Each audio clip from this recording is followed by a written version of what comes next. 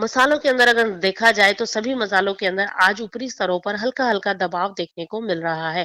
लगातार पिछले कुछ दिनों से धनिये में ज़बरदस्त तेज़ी देखने को मिली। धनिये के साथ जीरे में भी खरीदारी लौटती हुई नज़र आई और हल्दी भी अपना, अपनी खुशबू बिखेरती हुई नज़र आई।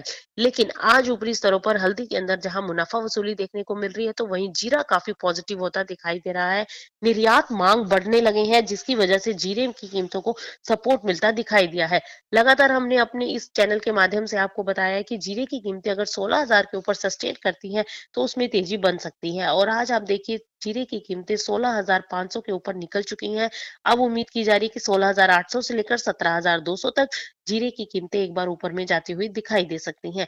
इसलिए जीरे के अंदर भी छुटपुट खरीदारी की तरफ़ जाया जा सकता है। वहीं धनिये की बात करें तो धनिए के अंदर ज़बरदस्त तेज़ी आ चुकी है। सतासी के पास हम धनिये को कारोबार करता हुआ देख चुके हैं।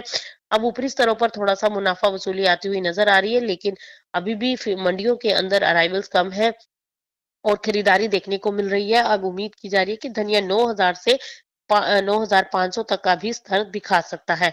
यानी हल्दी को छोड़ दें तो धनिया और जीरा दोनों ही कॉमोडिटीज के अंदर तेज़ी बनती हुई दिखाई दे रही है और इन दोनों कॉमोडिटीज के अंदर अभी ऊपरी स्तर छूते हुए नज़र आ सकते हैं। अगर जीरा 16000 के ऊपर सस्टेन रहता है 16500 से तो मुझे लगता है कि आने वाले दिनों में साढ़े सत्रह हज़ार से अठारह हज़ार का भी स्तर जीरा दिखा सकता है।